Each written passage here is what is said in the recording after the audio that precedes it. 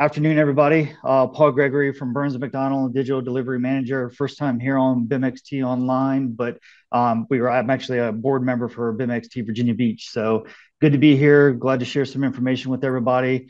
Um, quick tidbits. This is just you know our way. The information that I'm providing is going to be a little bit, I'll call it biased to how we do things at Burns & McDonnell.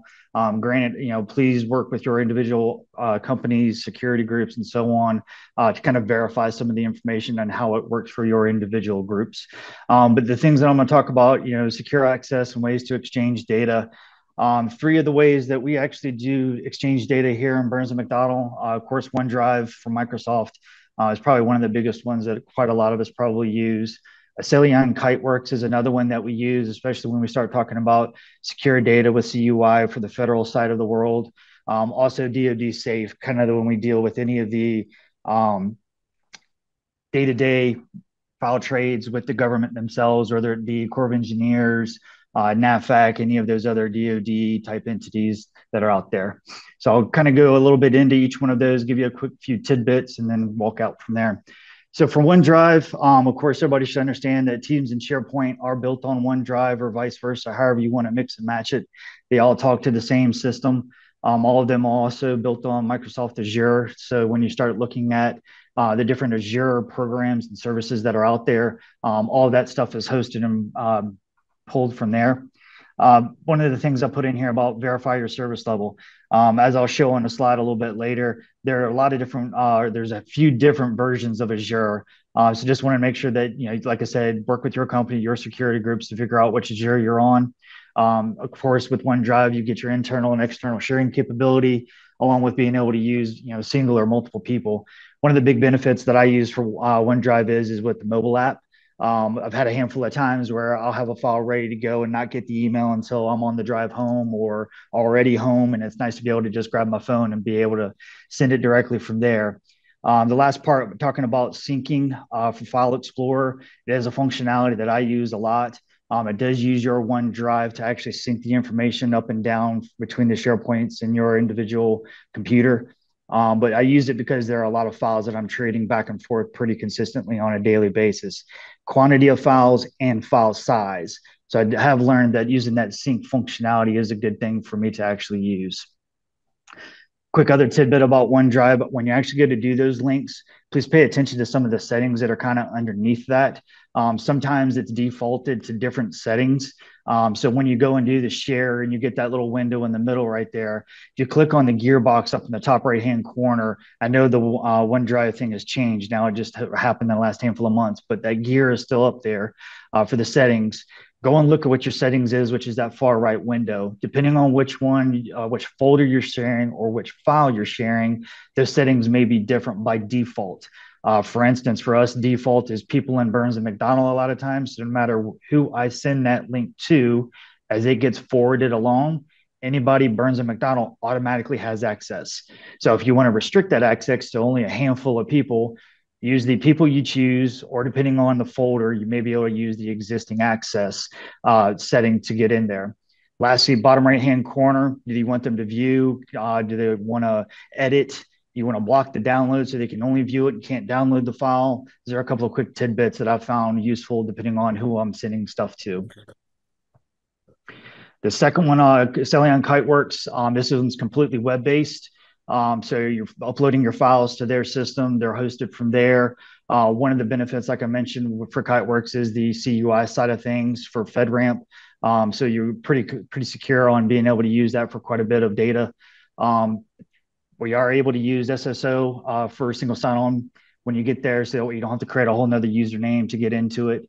Um, there is an expiration for the files that you upload. I don't know if they're set per company or if it's set per from Kiteworks. Somebody can verify that later. Uh, but I do know for mine, it's every 14 days the files expire and are no longer available. So that's a good thing with, hey, I want to put something up, get somebody to be able to download it, and it's gone, does not exist after that expiration date.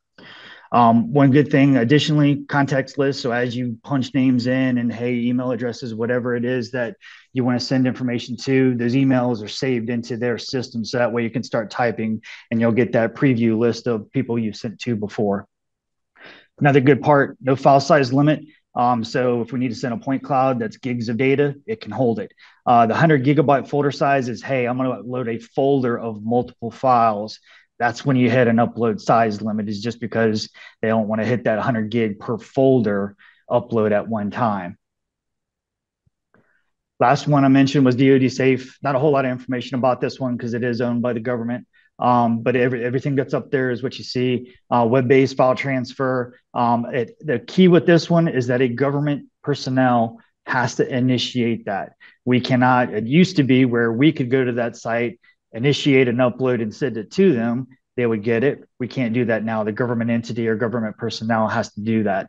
Um, it can contain certain secure per, uh, secure information including CUI, along with some personal uh, personal identification information, PII. Both of those can be hosted through the system. Just a couple additional checkboxes to get there. Last tidbit, and this is a part of the um, when I did this here locally at Virginia Beach, that a lot of people were kind of like, "Oh, didn't know that." Um, so depending on which system you're actually using for file share, um, wherever that uh, information is stored, if you're dealing with the federal side of the world, you have to think about FedRAMP, uh, which is FedRAMP Marketplace is the other side of it as well, which is where that uh, link at the bottom there actually goes to.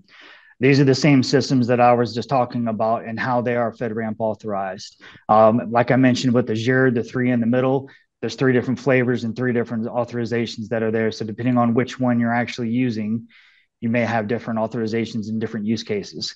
The biggest one that was an eye opener for quite a few of us, some of us that are in the government world and working with Autodesk on a good basis, um, the Autodesk for government still is not FedRAMP authorized.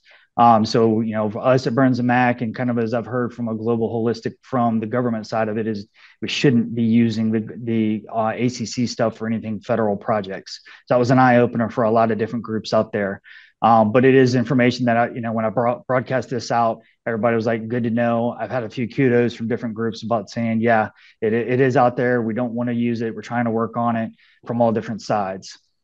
So that's kind of the quick and dirty of all uh, shares, trying to work through everything. Um, of course, we'll have questions as we go. Dan, I'll throw it back to you unless there's questions you want to go through right now. We actually do have a few questions.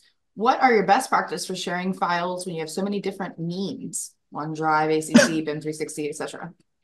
Excuse me. Um, mostly I use OneDrive. Uh, reason why I use OneDrive, nine times out of 10, we have a Teams page connected to our projects, which is that SharePoint and sharing area that we can use. So OneDrive typically is my go-to um, but I hear recently I've started using Kiteworks more just because of the CUI side of the house that we're getting into. So those would be my two primaries, other than DoD Safe, just because that comes from NAVFAC or Corps of Engineers as I get information. But I'd say OneDrive being the primary. All righty, thank you. And uh, does OneDrive give tracking tracking for who downloads what file? At the very early on stages, it did give me a notification of person downloaded file. I have not seen that of recent. Uh, one thing I do like about Kiteworks is it does give you that automated email, hey, person accessed and downloaded the file. So there's a, a couple of tidbits. I, there is probably a tracking mechanism somewhere within the OneDrive system. I just don't know where that is right now. And Jason has a question as well. Um, he's saying that they use ACC. Keep adding that to the mural, Jason. It's where it should be. uh, they use Mural for federal projects. Um, is there any problems that you guys are seeing on that side? I think a lot of it has to be what data are you putting on Mural. Um, if you're if you're using Mural as in I'll phrase it like Bluebeam uh, studio sessions and you're sharing your drawings up there, should probably not be up there is the way I would look at it. Um, now, granted, don't take that as clear direction, um, but I just my preference, I would probably say it shouldn't be up there.